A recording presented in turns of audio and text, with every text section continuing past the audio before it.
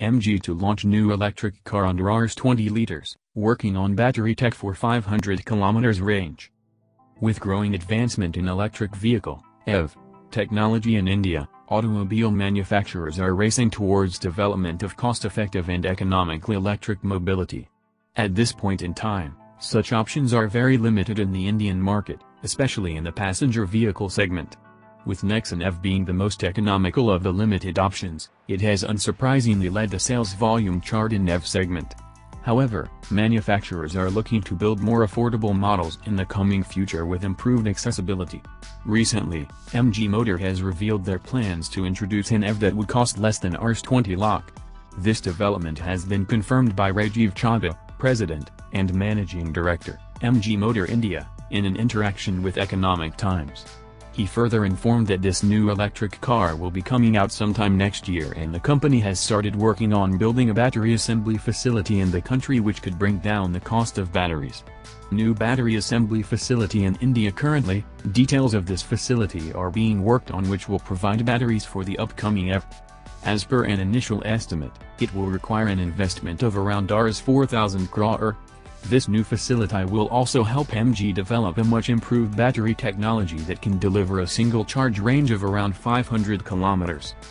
This new technology is expected to feature in production spec electric cars in 18 months. Furthermore, it has been reported that this technology is currently being evaluated under various climate conditions and terrains.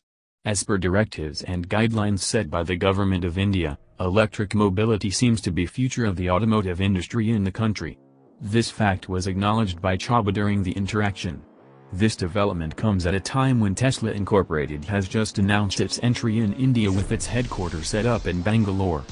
As per reports, the Karnataka government has allotted few acres of land to the American company in Tumkur on the outskirts of Bengaluru to set up a R&D facility.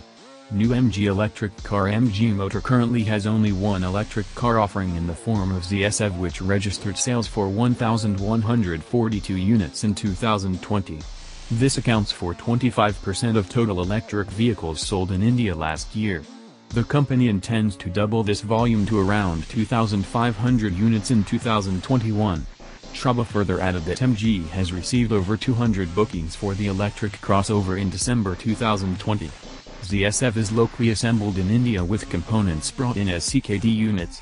ZSEV is powered by a 44.5 kWh lithium-ion battery pack paired to an electric motor which produces an output of 143 PS and 353 Nm of peak torque.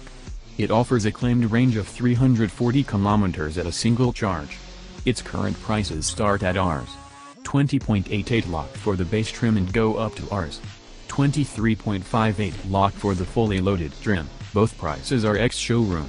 It is not clear what this new sub-Rs 20 lakh car from MG will be.